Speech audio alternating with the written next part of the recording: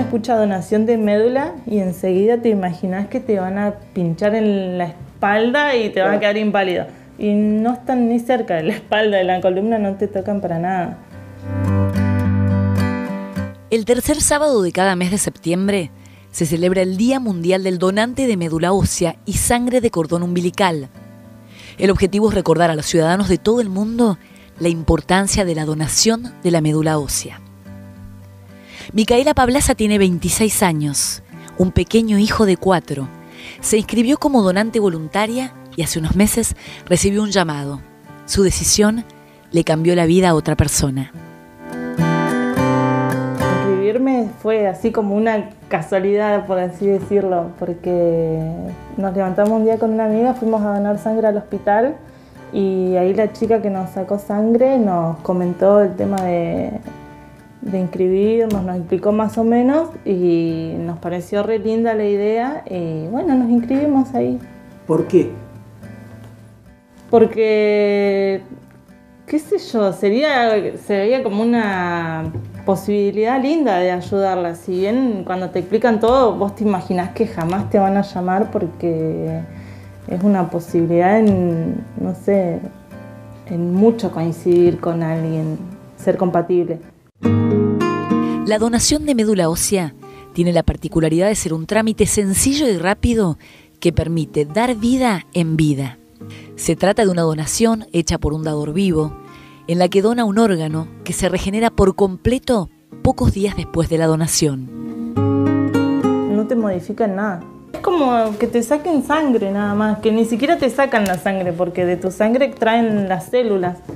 Es más, terminó el proceso de donación, tuve un ratito ahí eh, eh, internada y me hicieron unos análisis de calcio y demás para ver si estaba bien y me fui caminando. tenés todos los gastos cubiertos. Lo único que tenés que poner es tu tiempo. Que ponerle, voy a decir, bueno, trabajo, pero te solucionan con el tema del certificado. Si te descuentan algo, te lo reintegran te solucionan todo lo que puede ser como un problema que vos digas, ah, no, no puedo ir, te lo solucionan.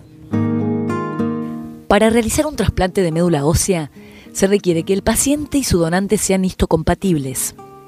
Cuando Micaela recibió el llamado, no tomó conciencia del valor de su decisión, no solo para el paciente, sino para todo el núcleo familiar. La verdad que es re lindo. No para mí, sino te pones en el lugar porque atrás de esa persona enferma hay toda una familia y un grupo de personas que están como muy conmovidos con eso. Entonces, por mí, la verdad que no tanto, pero si te pones a pensar en, en la familia y demás que están pasando por esa situación, es re lindo porque el paciente se cura. El proceso para registrarse como donante de médula ósea es muy sencillo y la donación en sí no deja ningún tipo de secuelas. Una extracción de sangre basta para quedar registrado en el Registro Nacional de Donantes. Quien cumpla los requisitos puede acercarse a los centros donantes en todo el país, llenar un formulario de inscripción y una ficha médica y firmar el consentimiento informando por el cual autoriza a que se le efectúe una extracción de sangre. Argentina tiene su registro nacional que tiene más de 225, casi 225 mil donantes inscriptos. Eh, y forma parte del registro mundial que tiene más de 32 millones de donantes inscriptos de eh, médula ósea y además tiene 750 eh, mil inscriptos o digamos resguardados la sangre de cordón umbilical. Así que para todas aquellas personas que no tienen un familiar compatible para hacer un tratamiento de un trasplante de, células progesterona hematopoyéticas, existe este banco.